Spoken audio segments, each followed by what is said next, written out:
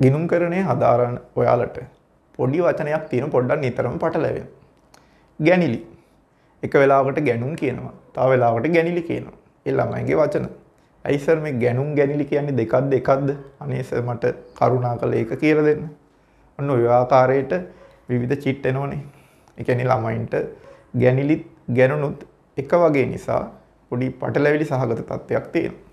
එහෙනම් අපි මේ වීඩියෝයෙන් බලන්නේ ගැනිලි සහ ගැනුම් අතර වෙනස හඳුනා ගන්න මම ගැනුම් ගැන වෙන වීඩියෝකින් කියලා දෙන නිසා ගැනිලි කියන්නේ මොකක්ද කියන එක තමයි ඇත්තටම මේ වීඩියෝවේදී මම පැහැදිලි කරන්නේ.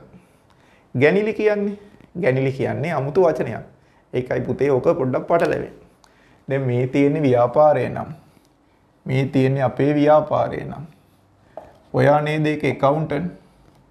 එහෙනම් ඔයා මෙතන ඉඳන් accountant විදියට කටයුතු කරනවා.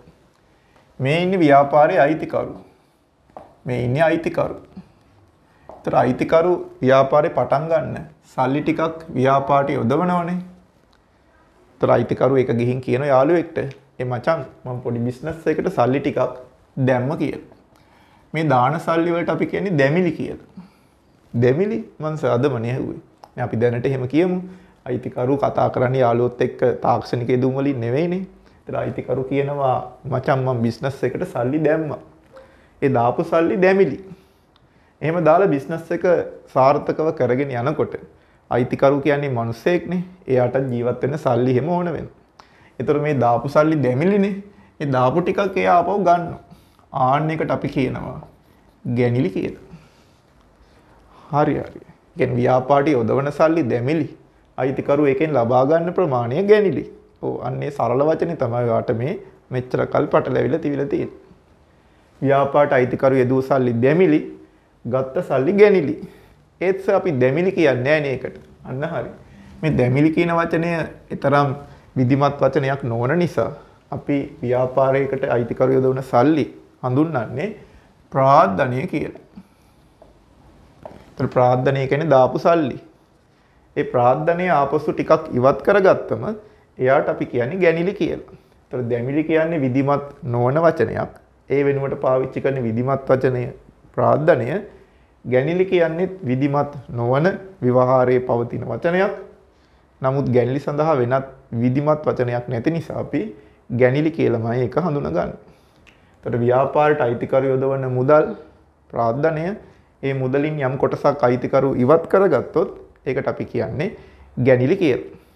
සාමාන්‍යයෙන් ළමයින්ගේ සිරිතක් තියෙනවා ගැනිලි කියන්නේ අයිතිකරු ගෙදරගෙන ගිය මුදල කියලා. නමුත් එහෙම ගැනිලි හඳුනගන්න යන්න එපා ඔය. අයිතිකරු ව්‍යාපාරයේ යම් මුදලක් රැගෙන ගියොත් එම ප්‍රමාණය ගැනිලි. ඒ මුදල අයිතිකරු ගෙදරගෙන ගියාද, මගදි වියදම් කරාද, වෙන කෙනෙක්ට දුන්නද කියන එක අපිට අදාළ කාරණයක් නෙවෙයි. දැන් ගැනිලි කියන්නේ ව්‍යාපාරයෙන් අයිතිකරු ඉවත් කරගන්නා මුදල. ගෙදරගෙන ගිය මුදල කියන එක ඊතරම් නිවැරදි නැහැ. ව්‍යාපාරයෙන් අයිතිකරු ඉවත් කරගන්නා මුදල් අපි ගැනිලි කියලා හඳුන ගන්නවා. මුදලින් අමතරව තවත් භාණ්ඩ වලින් ගැල්ලි කරන්න පුළුවන්. මේ වීඩියෝව ගිණුම්කරණය හදාරන නැත්නම් ගිණුම්කරණය ආරම්භ කළ සිසුවෙක් වෙනුවෙන් කරන මූලික පැහැදිලි කිරීම නිසා අපි ගැනිලි ගැන පුළුල්ව සාකච්ඡා කරන්නේ නැහැ. ඒතර ගැනිලි කියන්නේ ප්‍රාර්ථනීය අනිත් පැත්ත.